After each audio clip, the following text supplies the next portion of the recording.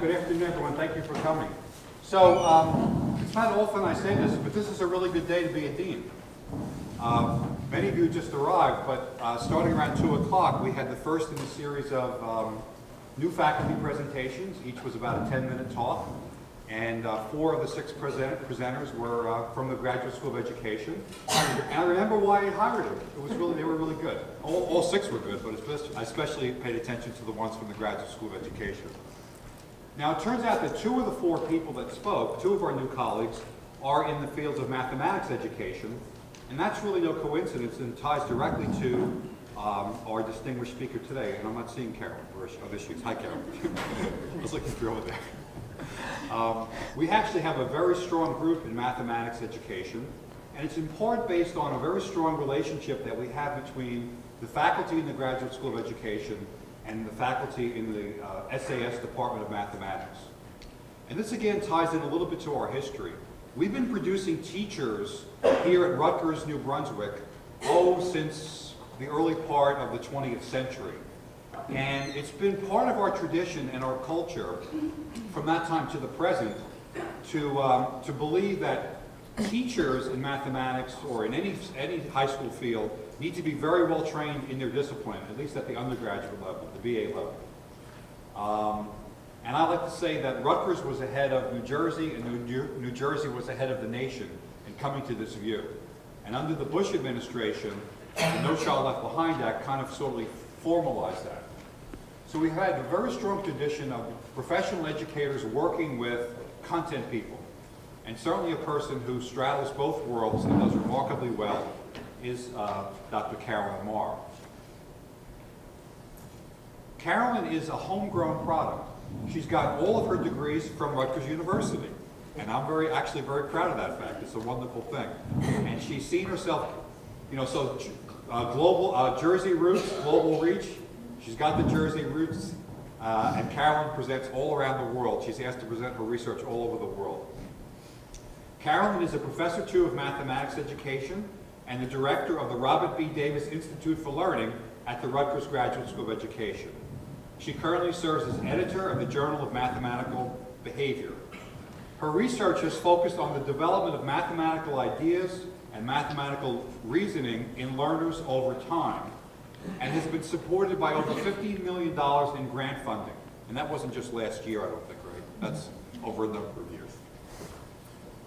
Still pretty good. Um, most noteworthy is a longitudinal study that has followed the mathematical thinking of a cohort of students doing mathematics both in and outside of classrooms, now beginning its 22nd year and tracking the students now into their professional positions. So a 22-year longitudinal study of mathematical problem solving really is quite remarkable. Really is a treasure here at Rutgers. The first 12 years of this longitudinal study are featured in the Private Universe Project in Mathematics, a one-hour documentary produced by River Run Media, and a series of six video workshops for teacher professional development that was produced by the Harvard-Smithsonian Center for Astrophysics. Carolyn's other research includes a three-year study of middle school students in formal mathematical learning in an after-school setting in an urban New Jersey school district. Carolyn recently completed work on an NSF synthesis grant that selected video episodes on children's mathematical reasoning as representative samples from prior studies for inclusion in a prototype of a searchable database accessible via the internet. I think you're going to talk somewhat about that today. Yes. Building on the synthesis work, Carolyn and her colleagues were awarded a four-year collaborative research grant from the National Science Foundation entitled Cyber, Cyber Enabled Design Research to Enhance Children's Critical Thinking Using a Major Video Collection. In this, in this work, they're focusing on teacher education and how studying video episodes of children's learning from prior research can potentially improve teachers' ability to reason mathematically. It's a very interesting mouthful. Having teachers watch children engage in mathematical reasoning and problem solving how that impacts the teacher's own thinking and ability to, to, to reason mathematically and to teach more effectively, uh, teach mathematics more effectively. In addition, Carolyn is co-PI on a current newly awarded NSF grant, New Jersey Partnership for Excellence in Middle School Mathematics. Professor Maher has published over 130 papers with 50, 55 referee journal articles and book chapters. She's given over 30 invited lectures, plenary sessions, and keynote addresses in 12 countries. And she's chaired over 60 doctoral dissertations in her time as Rutgers. Carolyn is deeply committed to doctoral education. She has this intense working group. I'm looking at her husband, Jim. They've hosted them over the years in their kitchen, in their home working with, uh, in collaboration with numbers of doctoral students. Um, she's done important work in the state of New Jersey in terms of professional development and mathematics education. And as you might surmise by my introduction, she is truly a distinguished uh, researcher in the field of mathematical education. Please join me in welcoming Carol. Thank you, Richard. That was lovely. Well, thank you very much. I appreciate this opportunity to talk, and I appreciate the invitation, Dr. Pazzani and Richard, for your kind words. And as you'll see, uh, I hope in this opportunity to talk with you, sort of like inviting a parent to talk about their children, a grandparent to talk about their grandchildren. Mind you, we've known many of these subjects for over two decades. It's just a pleasure to do this. And it's also a pleasure to do it in light of our new collaborations and you'll hear more about that. There are three parts to this talk. Um, so our, the first part of the talk will focus on the longitudinal research and the cross-sectional research. And um, the second part, it, it's really to show you, to give you some um, little pieces of video data so that you can anchor um, your um, thoughts about the kind of wonderful collection we have here at Rutgers. Um, then I want to talk a little bit more about the longitudinal study following uh, students through their adulthood, which is uh, a new interest of ours. And then finally about our very exciting video mosaic work with, with our various collaborators. Um, but this, this is really an exciting time because it does represent uh, a, a, really long life of work, uh, actually a quarter of a century of work. Now, when you think about I've been at Rutgers this long and doing this work, it just seems like one continuum. And, and the work has been um, truly collaborative. I, I want to stress, um, and as you'll see, that this work no way could, be, could have been done or accomplished without the many colleagues who participated along the way. And colleagues uh, being originally my students when I was sort of here all by myself. So I tell you young people, if you feel by yourself, sometimes alone. Uh, remember, you have your, your wonderful students as colleagues, and these colleagues can stay with you and they graduate and they continue to work with you, and, and so it goes, and that's very exciting. So our work has been involved with research in the classroom setting, in informal settings, in after-school settings, and, and it has taken place in uh, several kinds of school districts. We've worked in urban districts. We had two urban districts. We'll talk about those later, but that's Plainfield and New Brunswick. We had the working class district of Kenilworth, where our longest uh, study has taken place, and then the suburban district of Colts Neck. And we did this um, really over 22 years ago, as, as Dean DeLisi pointed out. But what's really important here um, to remember is we did this when video wasn't really very popular. So when, when, you look at some of the little clips I'm going to show you, notice some of the primitive ways we set up things. Um, and we did this um, really out of our hides because this is very time-consuming work. So, so, we amassed over these years a very large collection. We estimate now over 4,500 hours of video data. And uh, that video data, mostly, a large part of it, has been digitized over the course of our last couple of grants. Uh, not only have the videos been digitized, but also accompanying work with it, transcripts, metadata, student work. And, um, and then we have this private universe project in mathematics of which we're very excited. You also need to situate this work because when we started doing it, this was before the National Council of Teachers of Mathematics had their standards. We went into classrooms where mathematics, if we were lucky, was taught daily in elementary schools, and never more than 30 minutes. And if you visited those classrooms, the classrooms were conducted in a very much show and tell way. It was very procedural. You had to be fast, you had to be quick. Uh, Dan talked a little bit about that kind of uh, teaching with the example he used. Um, so we're talking about that kind of a setting, and what we were doing early on with uh, my earliest graduate students, Alice is sitting in the audience, she was a graduate student then, then Judy Landis, we were, we were there trying really to, to show something different, to really show teachers that there could be something else.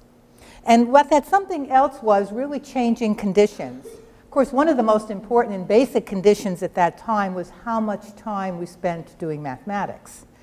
Um, mind you, half an hour, 45 minutes, we went in there and we said, we'd like an hour and a half.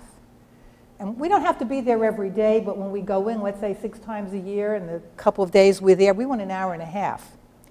And we really need this time. And to show that Teachers wondered at that time, well, would you have enough to do if you had an hour and a half? Can I cover my lesson? And, and they would soon learn that we don't have enough time. So this notion of really more time to do math, opening up so that students would be talking with each other, working with each other, sharing ideas, collaborating, and introducing problems and tasks that were just not model, here's, a problem, you do it this way, here's another problem, you do it this way, but designing tasks that would invite exploration, that would interest students, that would hope to take them as far as maybe they were able to go with the backgrounds they had. And because our work was research-based, we minimally intervened. Of course we intervened. We sometimes said, show us what you did. Can you explain what you did? Um, are, are, you convinced? Or Are your classmates convinced? We intervened often in that way. We intervened by saying, gee, maybe they need an inter another task because maybe this one, there's some ideas they need otherwise to explore. So task design was extremely important to us. But we wanted to encourage student understanding by having the mathematics make sense to them. We, we really thought that it should, especially at this very early age, and that it would sort of be a reasonable thing to expect that they could explain and convince others of the validity of their solutions. Our goal as researchers was to study in detail how mathematical ideas and ways of reasoning develop in learners. Now, we've been very fortunate over the years. Um, our work has been supported by uh, five NSF studies and uh, up to our current one. And uh, so I thank the National Science Foundation for its support. But in the beginning, before we had the National Science Foundation support, we were lucky to get support from uh, small foundation money like Exxon, AT&T, Johnson & Johnson. They, they got us started. You know, we were able to buy little cheap cameras by having them give us some support. It was a beginning. So I tell you young people, you don't have to always start big, but just start. Start doing something. And this is sort of an example of the NSF support we've had. The mathematics that we uh, challenge students to consider really what we might, we might say uh, might be characterized as being from a few content strands. Um, there was an algebra strand where students were introduced to early algebra, and that came from the late Robert B. Davis. Um, in his honor, our institute is named, the Robert B. Davis Institute for Learning. Uh, we had a counting and combinatoric strand that began right in the very beginning when we worked with students doing problems, really, which was in the second grade. We introduced probability in about the fifth grade. And the pre-calculus calculus strand started uh, in the 11th grade. And in all of these strands, and I'm going to try to show you a little of an example, the attention was to student reasoning. And now we, we are going to try to get you excited about the potential of all of this to prepare resources for teacher preparation and development. So, brief project history. Early on, when we started doing this, support came from the school districts. We had four partner districts. I named them before. Um, these were Plainfield, New Brunswick, Kenilworth, and Colts Neck. Uh, the NSF funding for our research was about $5 million, which maybe doesn't sound like a lot of money today for those of you who get $5 million grants in one fell swoop. But in those days, a million dollar grant or a $1.2 million grant was a lot of money. Um, and other funding that supported it, Department of Education grants and so forth. Um, the work started really in 1984, and as I said, a lot was dependent upon students. 25 completed doctoral dissertations really help us build the data set we have, and there are at least a dozen more that are in progress. So we do have um, the dissertation-based work for this, and we have many publications. I'm going to give you, I'm going to show you a very short uh, minute and a half video. And what I want you to pay attention to some things as you see it. You see these little girls, these, these are second graders. You could see how we had our mics there. You see we put a little cup. Um, and you see the girls are playing with these plastic cubes. I know many of you in the audience know what these are, these Unifix cubes, and they snap them together and they investigate some counting problems with them. Um, but I want you to watch and see if you can identify some of the younger people as they're getting older in the minute and a half that I'm going to show you. So let's take a look at this. Everything we make, we have to check. Alright, I'll always make it, you'll always check it. Okay, you make it and I'll check it. I mean, how many other people can tell you the math that they were doing in second grade besides the fact, like, like a word problem, you know? It's not like you were just, like, just doing regular problems, you know? It was, because that, that's why it leaves such an impression, because of the, the depth you get into it, you know? Alright, so I've convinced you that there's only eight? Yeah. what fourth grader is interested in math and arguing with their own friends about it? And it just, and we still think this today. Like, why do we sit here and argue about math? It's math. I really don't know like, what happened there that we started arguing, but it's just like got us so far. And like, what happened was we, we amazed ourselves with the things we got and like where it led us to now. Final.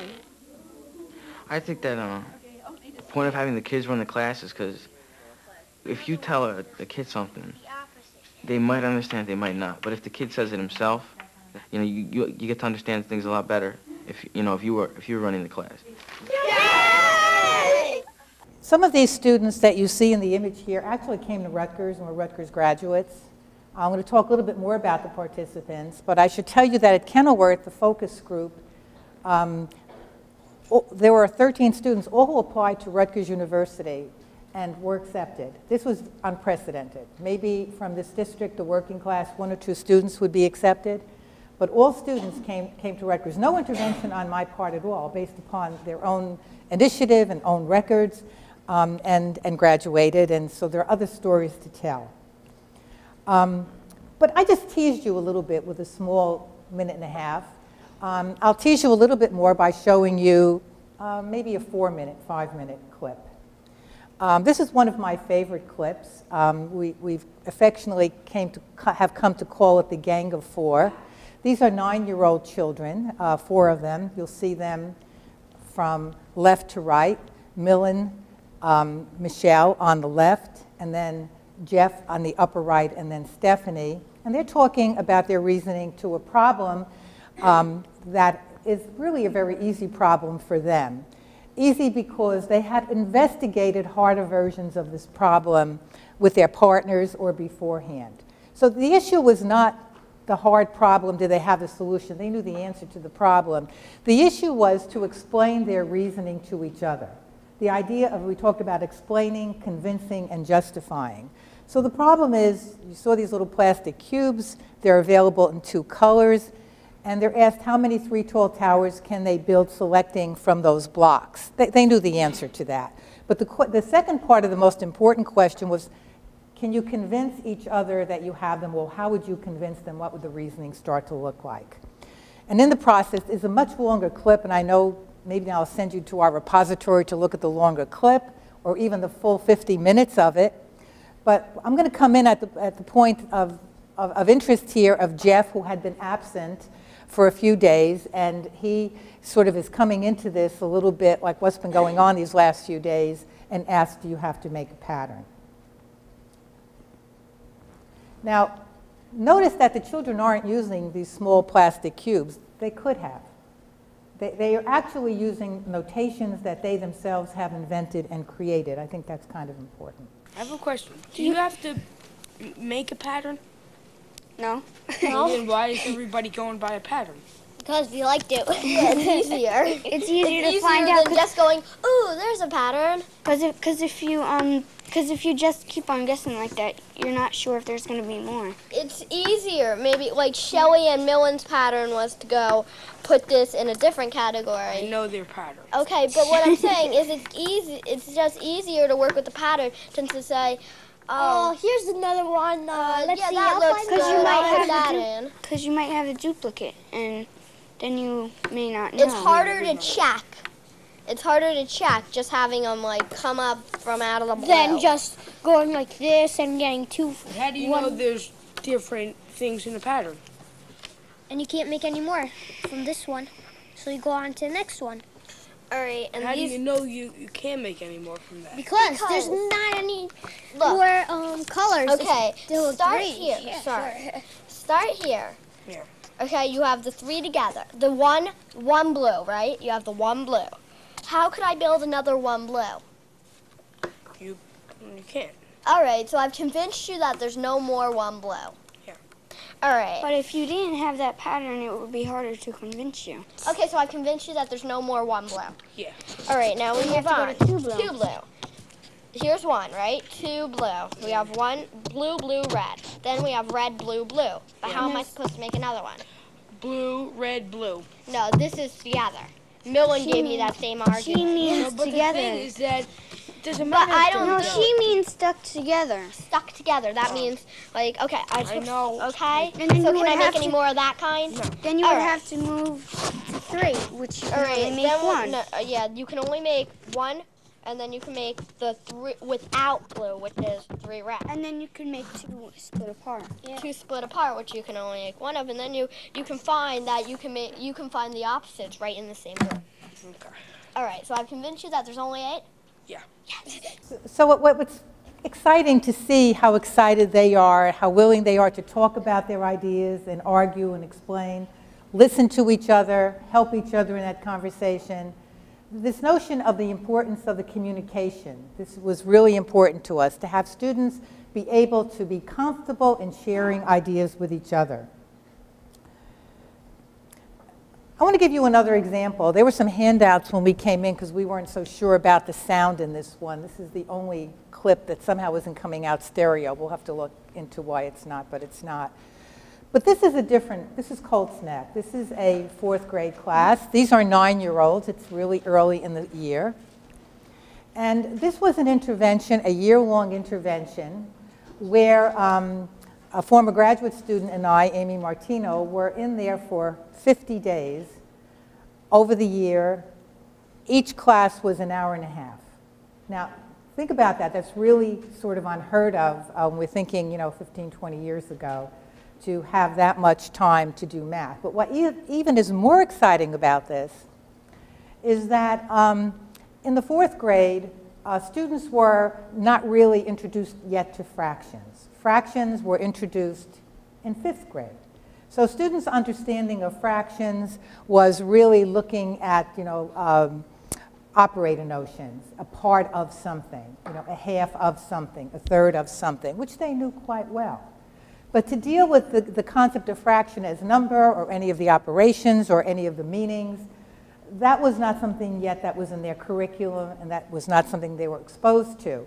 So in a sense, this became sort of a, uh, an interesting experiment to see what uh, understanding of fractions can they learn when they did explorations with, and, and at that time we used Cuisenaire which was a suggestion of the late Robert B. Davis. So using rods as tools, they were doing these fraction explorations over a year. Now, this data set is absolutely amazing. Uh, we have had four doctoral dissertations, and the fifth is scheduled for November 13th, just on this data set, and there's still more data to be analyzed. So it's extremely amazingly rich, and it's going to be wonderful for our repository. But I want you to look at, look at Alan. Alan's nine years old. And Alan and his classmates, this is a whole class, there are 24 students, and they're having, and so, so get a, take a look, you can see in the beginning that there's a whole class here. This is not just a small group. And they're having this conversation about placing fractions on the number line. And Alan is arguing that you can place lots of fractions on the number line, and another student is saying, but you don't have any space. If you were, able, if you were going to do this, you'd have to make the space bigger. And Alan argues there's plenty of space. You can divide the line into the smallest of fractions, he says. You could divide it into zillions. You could divide it into zillions, and there would still be space in there. So Alan comes up to show, show his idea. Okay, so there's Alan with his hand up, and you can see uh, Alan is invited to come to the board. Number names and all those little lines. Would that be fun? Um, up here, if, Here.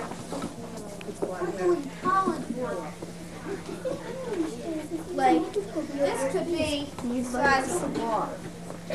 Maybe that one, zero. This could be the size of a bar. And there could be your line. Now, if you had the hundreds, which would probably go somewhere in here, it would look, say, as if it was right here. And then you would have all that space in, in there. It looks like it, but you really don't have that much space. It's just, that's just, if you had it really big, that's how much space it would look like you'd see. So, so that means, like, you could divide this into halves and thirds and fourths and fifths and all of that. So you're telling me, let me see that I understand this. The rest of you, will you help me with this? You're telling me that this bar over here that's marking zero, right? Okay, Michael's making it over there, but this bar that, that's marking zero, you've magnified because you've gotten your very powerful microscope. And so if you're telling me now, if you were, it would be real hard to place, what did you say, one hundredth or a thousand? Mm-hmm. One thousand? One hundred? Okay, one hundred. It would be really hard to see the placement of it, but you may end up, what may look like it's so close to zero you can't even mark it. Once you've magnified it, you have all this extra space in between. Right. That's interesting. Yeah, because it looks like you've got a lot of space, but you really only have that teensy weensy bit of space in between there. I mean, you could take like a really small pen and you could divide this up into all those pieces. But That would be really Looking divided at it that with little, your little, right- little, little piece up into If you the- look those at it- pieces. with your regular eye, you couldn't see that. So you have, you'd have to make it bigger. Laura, does that help? This is a a wonderful session where they start to talk about dust particles and dust bugs and what you can fit here. Interesting ideas in, in the placement of fractions. So w- one of the strands I talked about earlier was a counting strand, uh, we, where we did more and more sophisticated counting problems. And I wanted uh, to sort of jump into grade 10. Um, I know there's lots going on, but I have limited time to talk about all of these. But uh, this again is um, a little clip where the students obviously have spent a lot of time thinking about these ideas for much more sophisticated problems. But what's important here is that they are really coming back to using the little Unifix cubes again in their discussion. They, they don't use them often, they use them every now and then, but they come because they're trying to explain that there are two problems whose solutions are really equivalent. They're talking about two isomorphic problems. The problem of how many three tall towers can be built selecting from cubes available in two colors. Remember, we looked at this in the fourth grade. And then how many pizzas can you make selecting from three different toppings? And so the towers become a metaphor to explain the equivalence which they connect to Pascal's triangle. And those of you who don't know what Pascal's triangle is, after this I'll show you a little slide to explain sort of what they've been doing. But here they are. There's Ankur, Romina, Jeff, Michael, and then Brian over. And Michael is, by the way, he's a graduate of Rutgers computer science uh, graduate. Um, he liked to use binary numbers a lot and binary codes early in his investigations. But Michael is explaining to the other groups how you can think of the pizza problem solution using those block towers. Don't, don't look at the colors. Ah. Just look at So you- this. You, you, you, I- you gotta I'm look trying at to the make towers sense- like I'm trying to lying down of it like this. Because it's different. All right, lying down. because then then you have like this. But this the colors don't specifically represent anything. Yes, it Yeah, does. No, it don't. Pot topping or no topping. Let's just say it like that. And if you Okay. look at it like this, you know. So all the whites are no topping. yeah, but Then then look each, at- each, So each what is little like? yeah. Is it a whole no topping? And this is a This plain a pizza with a choice. Oh, if, you okay, had a okay, choice okay, of okay. three toppings, Okay. and this would be Oh, a with one- pizza with Okay. two Okay. different toppings without the the third was topping. Okay. It's not like a pizza Okay. with you know Two, two top, oh, yeah. Well, if you're saying this, this isn't a pizza with three no toppings. It's It's just a plain All right. pizza. So that's two toppings. yeah. that's right. a This- choice alright, of so, two, yeah. but you have a choice of two toppings. yeah. So this is So- this is choice of two using two. This is choice He's of two using using one. one. That's This is using the other two using one. the other one. That's using nothing. That's all the choice of two. possibilities? Yes. Yeah. Those are the only possibilities. Is that interesting? Okay, well, some of you can think about that uh, problem later. But what, what you're going to see more of is, uh, some of you may recognize this as, as Pascal's triangle, where students uh, were really talking about the row where you see 1331. And that was sort of the row that they were looking at as, as in terms of building towers uh, that contained none of a color, one of a color, two of a color, and three of a color. And so if we talked about one of a color, that meant one topping. If we talked about uh, none of a color, that was all whites, remember? So that was no toppings. And they were exploring this triangle, and more importantly, they were exploring this triangle and how it grew. Um, so you might say, well, how important are these early tower ideas to students' mathematical growth? We're now in 11th grade, and the students now have obviously um, more mathematical uh, knowledge and skills and different ways to represent their ideas. So now they're explaining why the addition rule works with Pascal's triangle, but they're using the metaphor of pizzas that we just saw with towers to describe um, why that's the case. n choose x um, plus n choose x plus 1 Equals that. plus 1 equals that right there.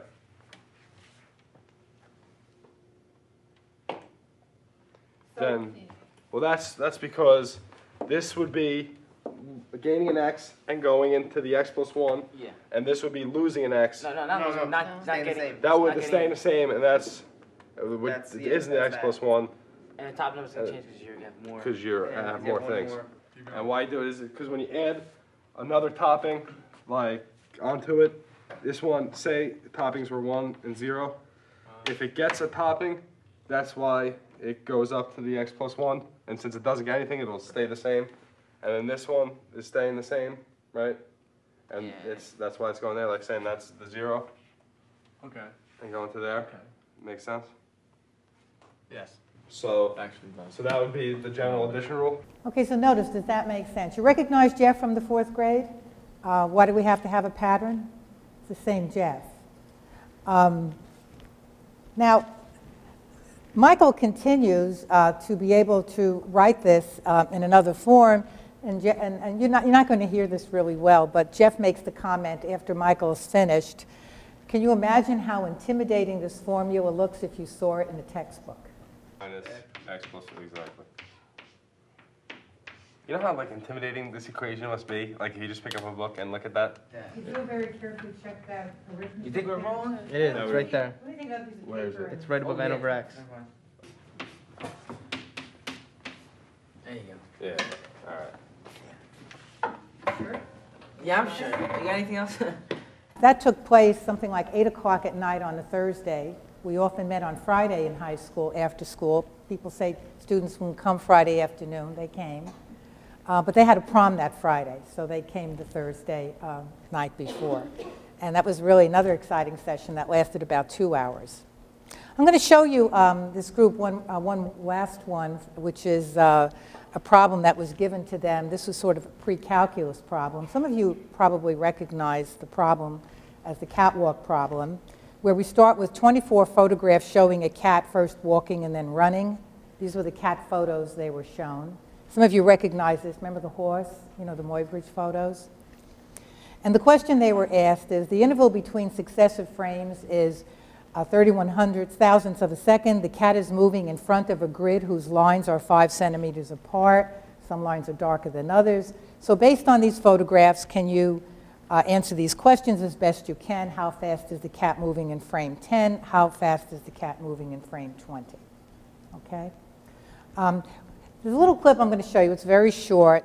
But Romina is talking about um, what makes sense to her and the need to sort of um, experience the problem. So again, for those of you who know about this problem, these photographs were published in 1883, and the students were asked to um, see what they could do and how would they arrive at their conclusions. It made sense of it. Like we had the numbers there, but we they didn't make sense to us. They we didn't understand how something could change speed so fast, what was going on, why it would change speed so fast. But when you do it like real, like a real life version of it, you can see what the cat's doing, so you understand it. And like our graphs would go up all of a sudden and like fly down. Um, but then when we did it, we could see like it was accelerating, it came to a peak, and then it was slowing down, and like it just makes sense of all the math.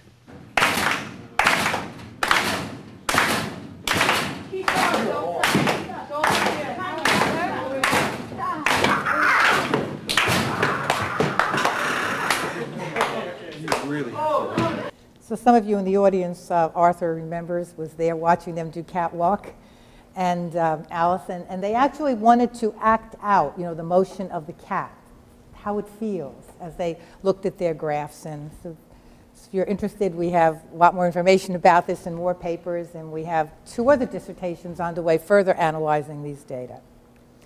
So I'm going to go to this other part of the talk before I talk about our repository, which is sort of, you know, the icing on the cake of all of this. Um, but we continue to follow some of these students. We bring them in for interviews. And Romina, who, by the way, didn't, who chose not to come to Rutgers, she's a University of Pennsylvania graduate, um, she um, comes in regularly for interviews. And, and this is a, uh, I'm going to share with you some of the things she said as recently as a month ago uh, as part of a doctoral dissertation research of one of our students, uh, Maria de Stefero. Uh, but she says she thinks her group, their little group, she was really impressed by them. She, how did we do that, she says? How did we do what we did? Um, so there's Romina. You know, you can see her um, as a small child, and you can see Romina now um, as a young lady who has just graduated from um, uh, Northwestern's Kellogg uh, Business School.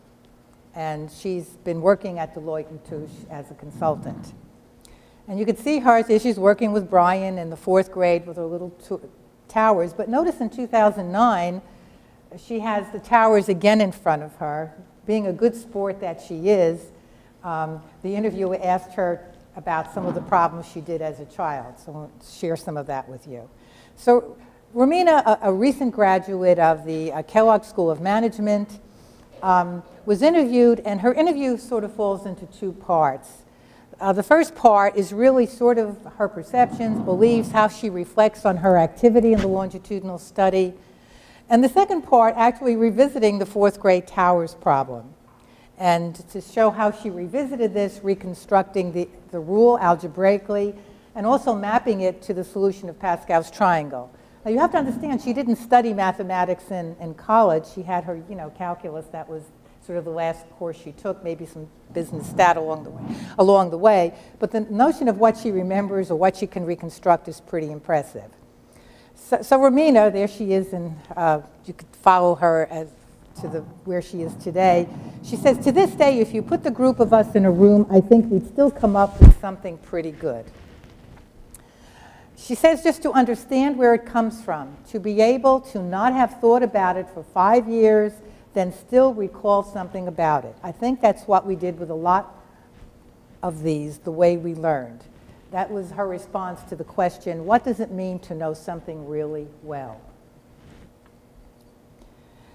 She made an analogy to her work in the longitudinal study uh, to business school. She says business school was pretty much this, the longitudinal study, every day in every single class. She said, I had a lot of experience. I did that a lot through this program, growing up with the same 12 people all the time. And at my job, that's what we did. We worked in small rooms with each other all the time. And when she was asked to describe herself as a problem solver, she says, I only get to a certain point by myself by kind of organizing the problem. I like to talk about it with other people, kind of like, is this what you think? The issues? How are we going to tackle this? Work on it together. And then come up with a plan.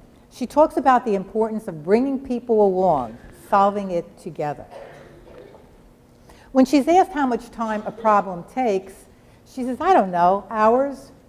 Even with us, our sessions were like a few hours at a time, maybe three or four hours, we'd come up with an answer. And I contrast this from a little episode um, in the book Outliers, some of you have read, where they make reference, um, the author Malcolm makes reference to a little paragraph um, about Schoenfeld's study, where, where he um, asserts that students don't want to spend more than a half an hour on any problem. It's usually five minutes before they're willing you know, to be engaged. And we're talking in contrast to students to be willing to be engaged for a very, very long time where someone is not telling them whether or not their answer is correct, but giving, not, not stealing the opportunity from them for reasoning about it. So she said we'd always go back and refine it. I think that was what, that's why we'd get to right answers eventually because we weren't scared, even after four hours, to say, you know what, we need to go back to this. So when she was asked what some of her first memories was, she says, those towers, two colors, four high. I don't know if it's my actual first memory, but that's the first thing I remember. And she talks about the way we built on ideas. It was more interesting as we got older. We were able to figure out, go from towers to kind of an equation to kind of a standard theorem, you know. And so there, there she is. In 1992, she's investigating actually five tall towers, selecting from two colors, um, and then four tall. But then she was asked again to look at the same problem, and notice she still makes use of those plastic cubes. She comes up with a systematic list. She comes up with an algebraic rule that generalizes her solution to the problem, where you can select from as many colors as you want and build them as high as you want. And then she shows the relationship to Pascal's triangle, and that's in the, I don't know if you can see it, but that's in the bottom um, right corner.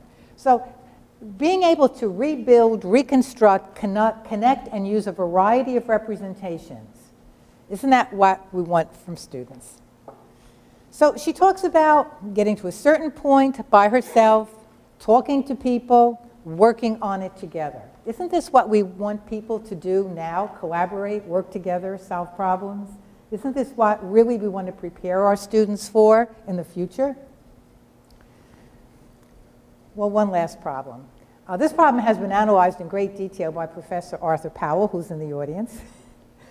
And uh, it was given to the students as um, their, their sort of final counting problem. Is that right, Arthur? In the 12th grade. And some of you know this problem, taxi cab geometry. The taxi driver is given a particular territory, and there's the grid, and those are sort of the, the points. Then they were asked, um, they were asked how, how many ways they could get to those points. What's very interesting about this, I'll show you a little clip of them explaining part of their solution. But what's really exciting about this, and I know Arthur and I were very excited when this happened, is that we asked them to solve this problem, but guess what? They solved the general problem. And we said, we didn't ask you to solve the general problem. We asked you to solve this problem. Why did you do that? And they said, well, we knew eventually you would ask us to solve the general problem. Now, aren't these good habits for students? To have them have the expectation to do more rather than the expectation of doing less. We, we took it. We broke it down. Yeah, we just went from point to point on the thing. Like we even, we'll to say we started making a box like that. How many different ways can you get from this point to this point? You know, make an easier problem, like the basic math. So we deal. did, like up to this point, there's two. Up to this point, there's three, four, six, three. So that those are our numbers. Those are up to the points, like down a diagonal. And what we got Pascal triangle. Yeah, we started, you know, and then as we started, you know, like t- it takes two to get to there, three to, you know, get there, as Romina just went through and did. And then as we started filling it out, we noticed that if you tilt it like that and throw ones on the outside and a one on top, I mean, you're looking at Pascal's triangle. And so we stopped at this point because, I mean, making, you know, like 30 plus different things like this, it, get, it just gets confusing, you know? Hmm. And so Brian had Brian was get like doing you know we were some of us were drawing out all the ways. Brian had another method of finding out the ways to do it. And we just you know, and we just like, whatever brought he it all didn't have. together, and then that's kind of what we're looking at right now. Well, you know, that was kind of nice, but we have two people in the audience now, two graduate students who have been exploring Pascal's pyramid, and we have them videotaped. We have Robert and Kevin here who like to do further explorations. Um, I, I threw the slide in not because I think you can read it, I know you can't, um, but people always ask me uh, from this focus group of, of the Kenilworth students, where are they now? Um, so what I think is very interesting here is that we didn't produce um, a whole bunch of mathematicians, right?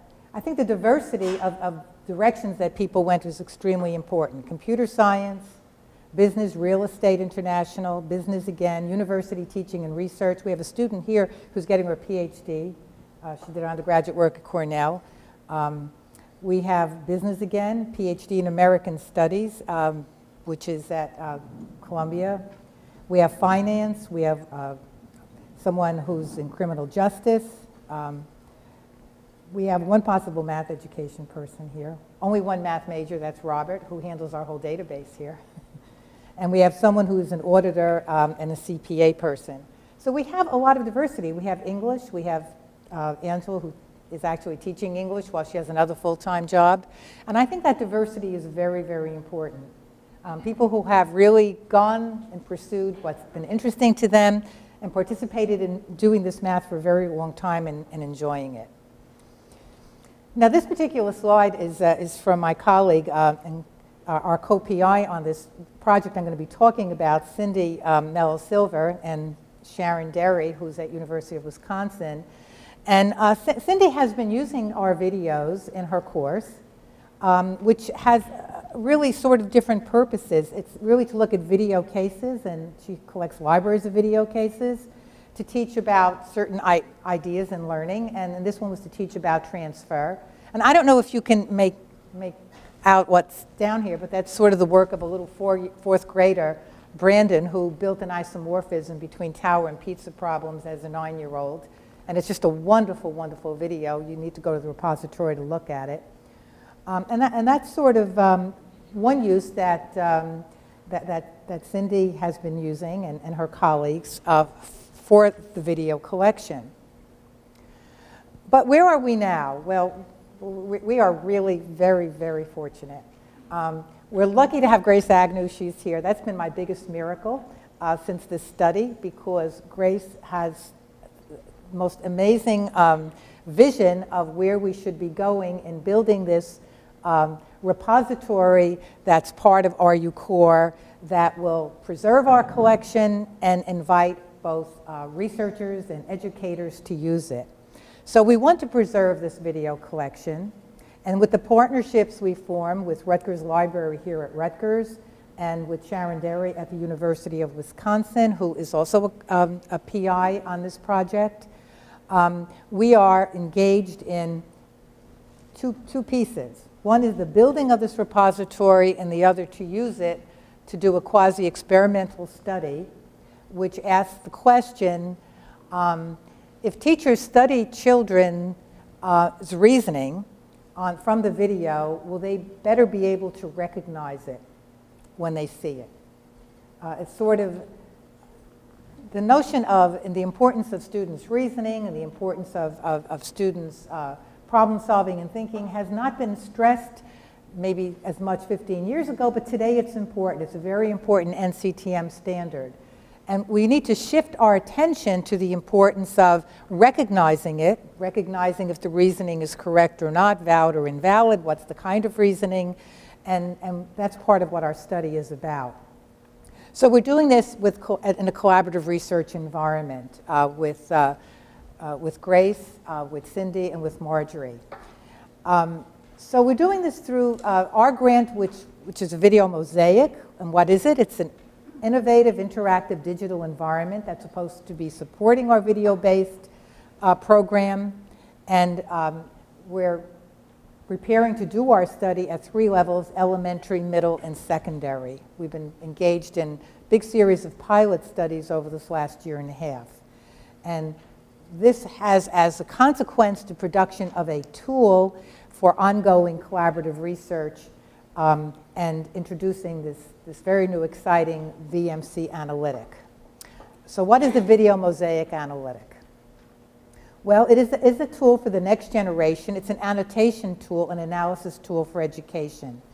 It can serve a lot of purposes because it, it is a part of the open source repository architecture that will enable us to transform what's uh, a discovery environment into an interactive and collaborative one so that practicing teachers, faculty, researchers, teacher educators can work together can integrate video into the teaching and learning process, and can also conduct ongoing analyses of video data. Now, I said this earlier, and I'll repeat again, our collection alone is, is, is enormous. 4,500 hours of video data spanning more than 20 years from longitudinal and cross-sectional studies. It's not just the video data that we have that's digitized. We have our student work. We have wonderful transcripts. We have field notes, we have many related publications, abstracts, journal articles, and as I said, dissertations and more in the making. And we have looked at some of these in terms of video cases, in terms of reasoning, where we've looked at reasoning by cases, induction, contradiction, upper and lower bound, analogy, just for example. So, so given this incredible wealth of material, which as you see these lovely videos, uh, what, are our, what are our goals here? Well, our goals are to build and share these teacher education and teacher professional development interventions using this video collection in, in a design research study. Now, one element that's very exciting uh, that, that Grace has introduced to us is this, this idea of a workflow expression. Um, if you were to say, how should you use these? How should you go in and use these videos? What, what, what, what is the best way? Well, we really don't know. You know, we have, we have uh, uh, teacher educators and we have people work in teacher development and we have these tools. What we need to do is study how they use them. And when we study how they use them, we can feed that back and we could learn from, in our design research, we can learn from what we do by studying their use. So we want to capture and analyze these workflow expressions, which we're doing now. And, and by the way, I think there's, there's a doctoral dissertation uh, from University of Wisconsin that is focusing on this little piece of it, so that this could guide the next iteration of intervention so that we could build a database of replicable interventions. So by building this video mosaic repository, we'll be able to preserve the videos, associate them with analytics, which means that, we'll talk a little bit about that in a minute, but that means people from the outside could come in and look at our videos and analyze them, and that can become part of our collection. So we provide this collaborative environment, and we, we link the annotations with the videos and also the associated resources, which gives us flexibility and it can be customized for individual use. So our new analytic tools in summary, we can search for and view videos, we can provide brief abstracts of the annotations, and we can display the records from the search. So it might look a little bit like this. I showed you a little bit of Brandon earlier because that was the one that uh, Cindy used. But there's an early draft of an analytic tool. So you, you get to watch the video. You can, you can get to pull up the transcript if you want. You can get to pull up the related work if you want. You could search in a variety of ways. You know what piece it is. But there's a tool here also if you're a student and you were asked to maybe investigate how a particular idea was built you actually, there's a tool in there that could actually take little chunks of video and you can create your own video to tell your own story. And so you can, you can tell your story in video, you can tell your story as a Word document working really with transcript. So what we have here is, if you think of this as our analytic repository, the video object, you can think of this as the actual video, the original source video. From the video, we have many students who study these videos and collections of them, a dissertation, or researchers working to study and write papers and study some particular question they're interested in. The dissertation then becomes one of the analytic units. Okay? Now, it's very possible that someone could use either that same video or a different collection of video with a different lens and produce a different analytic unit. Or other analytic units can grow from the outside because now Pablo is very interested now, not just with undergraduates and graduates, but now he's interested in maybe pre-K and he wants to see if some of the things he's interested in he can still study with a different population. So that becomes another way to um, to use the Video Mosaic Collaborative. So we- have lots of examples, you know, we have, uh, you can see that th- there'll be sort of a record of this is when it was created, this is sort of what it's about, this is the in- intended audience, so you can search by a whole vector of, of uh, um, possibilities. You can look age, grade, topic, etc. So these are just some more examples of how you might do this. Um, so the, the, the range of topic is enormous when we start to talk about our informal math learning grant. So you, you can pull up, you'll pull up something that looks like this, will be your brief description, and uh, you'll be able to even search some more. So, cyber-enabled video mosaic for teacher education enables us to do systematic design research. Right now we have several research sites in New Jersey and an online site in Wisconsin. We are currently analyzing workflow expressions in our two sites this, this actually semester, and we're investigating how different sites adapt instructional interventions. We have already done pilot studies. Uh, we have two partner institutions working with us. We're working with uh, Seton Hall University, and we're working with uh, Felician College. And uh, Montclair wants to join us, but we have to go through IRB to include them because that's after the fact. Um, we have, uh, in pre-service, we're working with elementary, middle, and secondary pre-service teachers. For in-service, we are working in an urban and suburban district with elementary and middle level teachers. Our project timeline is, so far, we've um, done pilots at these sites. We've been collecting pilot data. We've been developing instruments. We've been developing rubrics for analysis. We've analyzed some of our data. And our big study is next year. So looking ahead, this repository-based cyber infrastructure is going to support the research we do, and we hope the research of many others. It also will provide a long-term preservation access and web portal customiza customization, um, builds relationships among the research objects. You can pull a published paper that's related to it, a dissertation, presentation, um, PowerPoint um, for search and display. Um, and participation in, in designing of tools that benefit any research that's stored there. RUCORE is the big, big um, idea for Rutgers Community Repository. We are a piece of that big idea. And, and the good news is that by having us as part of the collaboration, we are gaining from the big idea, and we hope that we can offer something to the big idea to learn from as well. So thank you very much. And thank you to all of those who have helped uh, in many, many ways to uh, enable me to have the privilege of giving this talk. Thank you.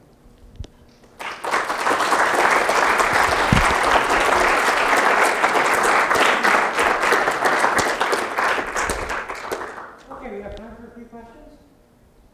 How did you handle the institutional review board elements of this? If you're dealing with children and now you follow them all the time and you're required to at the beginning?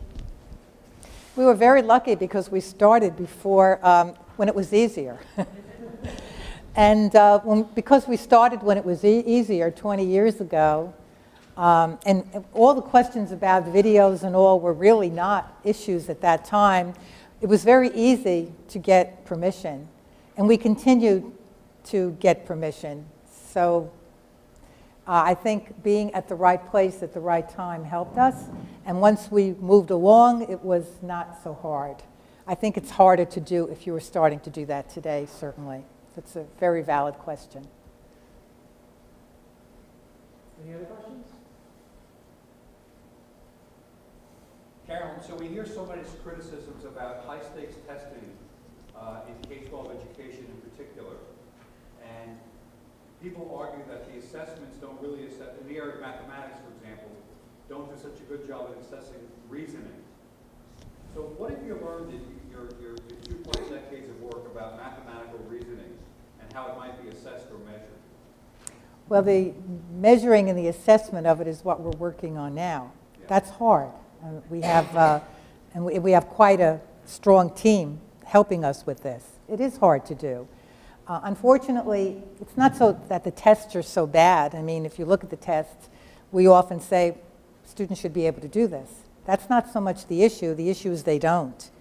And I think part of the problem is what I, one of my colleagues from Australia termed as cognitive theft. We we have really taken away from students, you know, the empowerment of them to believe that they could do it and are willing to do it. They sort of play the game of waiting us out. You know, if I wait long enough, you're going to show me how to do this. Um, and and it's, it's, the question of empowerment and, and not the investment. The tests aren't really the bad guys.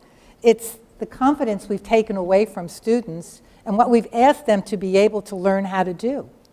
Um, interestingly enough, um, as we were in, in the study in the midst of it, uh, standardized tests were very, very popular in New Jersey. Uh, and we uh, monitored the students in terms of their performance on these standardized tests. And if you recall, in those days, the, the, the test had three areas. It was computation, concepts, and problem solving. Now, when we moved to focus on problem solving and conceptual understanding, um, you would think that computational skills would really decline. They actually didn't. Computational skills stay the same, and that was what they did best before we came in. But there was very, very significant growth in conceptual understanding and problem solving. So I, I don't, I don't really think um, it's a question of the tests aren't the bad guys, it's what becomes now the priority in schools and the classroom. It's the teaching to the test that's so bad. Other questions?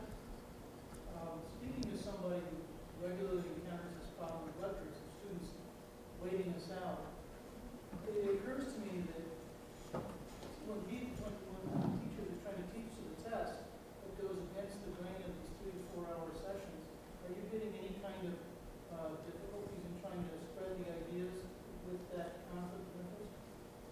Well, yeah, there are always those difficulties. I think, um, I think um, from my overlook, looking back over the years I've been doing this, um, I find that um, folks have to find out for themselves that it doesn't work to do it the other way. It doesn't work to just, you know, teach them to the test and tell them and show them. Um, the teachers themselves get very, very frustrated that this isn't working, and then they become desperate to try new things because they care. They want their students to learn. And then they start to branch out a little bit, and there are different ways they choose to do this. You know, it, it may be that they, they do lecture mostly, but they build in these problem solving strands that they encourage students to work together in groups. And, and, and I know that's a problem. I mean, I, I, somehow we have to build in and form that culture where it's valued. Because once you do it and once you model some of it, I, I think when someone is hooked, then it, you don't go back. You know, I'm saying I think you can only then go forward. But it's very hard to break that culture and those expectations. I don't know if I've answered your question. Okay, any further questions? All right, well, I'd like to thank our speaker very much for a very... Thank you.